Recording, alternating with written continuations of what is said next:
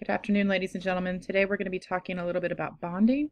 Um, and really today all we're getting about bonding is the generics about bonding. We're getting some definitions. We're trying to figure out what kinds of bonds are what and why, um, and why things bond in the first place. Um, and to be honest with you, it's pretty simple. We'll get more into detail later with the rest of it. So today we're going to get the topics of understanding of how do bonds form, what is the octet rule and how does that apply to everything? Ionic bonding and covalent bonding and what those things are. So first, how do elements bond? All elements bond for the same reason, to become stable. Everybody wants to be stable. Stability is determined by valence electrons. And atoms tend to react in a way that would lead them to have a stable octet, this idea of the octet rule. So what are valence electrons? Well, we know valence electrons are electrons in the highest occupied energy level of the atom. Electrons that are the, they're usually the only electrons involved in bonding. The d block elements we have a little issue with, but for the most part the elements that we'll be talking about are only valence electrons that are involved in bonding. And we won't explain much else. So a stable octet, what does that mean? When the valence shell is full, the atom is stable. It's less likely to react. We know this. Example, we know the noble gases like krypton have an octet of valence electrons and are therefore stable. It's a pretty simple concept. So every other atom wants to be like them and wants to be stable. So, understanding compounds some more. We can have two kinds of compounds formed basically. We have binary compounds. Binary compounds are compounds formed from only two elements. And these compounds can be either ionic or covalent or molecular.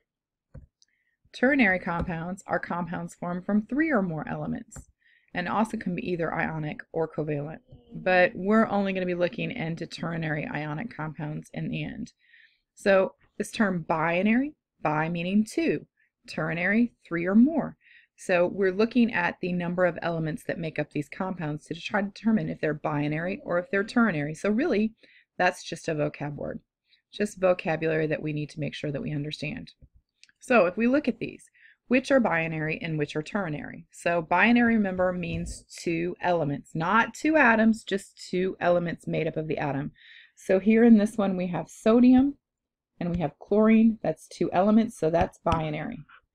Okay, we have carbon and we have oxygen, that's two, so that's binary. We have nitrogen, we have oxygen, that's only two elements, so that's binary.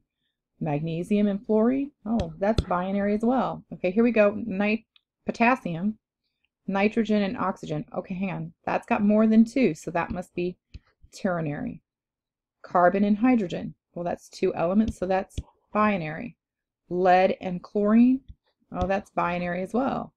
Oxygen and hydrogen. Well, that's binary too. Copper, sulfur, and oxygen. Oh, that's a ternary one. And then sodium or sulfur, I'm sorry, sulfur and fluorine is binary.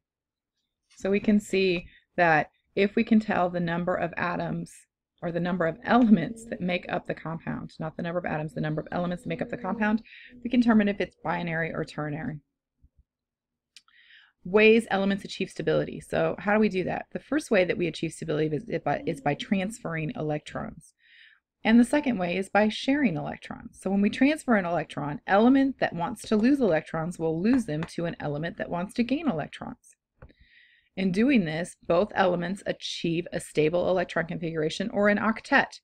When we say a stable electron configuration, we're talking about an octet. In sharing electrons, an element that has four or more valence electrons, with hydrogen being the exception, can share electrons with other elements. And again, in sharing, they both achieve a stable electron configuration or an octet. So which type of elements want to lose and which type want to gain?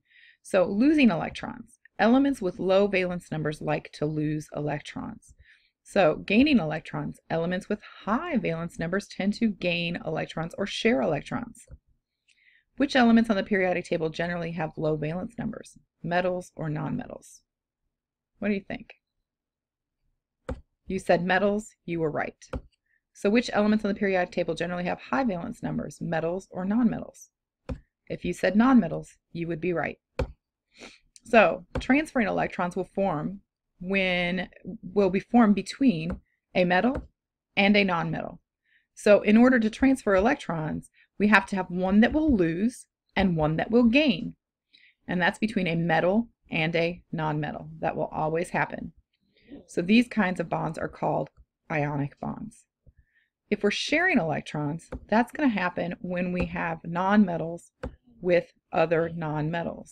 And these kinds of bonds are called covalent or molecular bonds. Okay, pretty simple. Metals with nonmetals are ionic. Nonmetals with nonmetals are covalent or molecular. So, which are ionic and which are covalent or molecular? So let's look.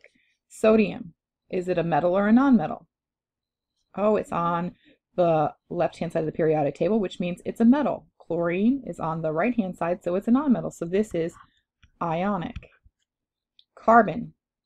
Carbon is on the right-hand side of the line of metals, so is oxygen. So it is covalent or molecular. Nitrogen, again, next to carbon on the right-hand side of the line of metals, so is oxygen, so that is covalent. Magnesium, okay, magnesium is on the right-hand side of the periodic table, or I'm sorry, the left-hand side. On the other side of the line of metals, fluorine is on the right-hand side, so this would be ionic. Here we go, we have three, but that doesn't really matter. We just have to look. This guy is considered a group. We'll talk about that a little bit later. We have potassium, which is a metal, nit nitrogen and oxygen, which are nonmetals. So that's going to form an ionic bond. Carbon and hydrogen. Carbon is a nonmetal. Hydrogen is also a nonmetal. Yes, I know where it is on the periodic table, but remember, it's the only nonmetal that's there. So this is covalent. Lead. Now be really careful because lead looks a little distinguishing because we, we might be able to get it a little confused, but it is on the left-hand side of the line of metals, so it's a metal. Chlorine is on the right-hand side, so that is ionic. Hydrogen, definitely a nonmetal. Oxygen, definitely a nonmetal, so that is covalent. Then we come here, copper. Copper is a metal. It's in the D block, but it's still a metal. And we have sulfur and oxygen that are both nonmetals, so that is also ionic. And then we come down here to sulfur and fluorine. Sulfur is a nonmetal, fluorine is a nonmetal, so that is covalent. So hopefully um, you've gotten enough information to begin thinking about this idea of bonding and what's happening. Um, there will be a worksheet that you need to pick up also from uh, Blackboard. So please make sure that you do all of those things um, this evening.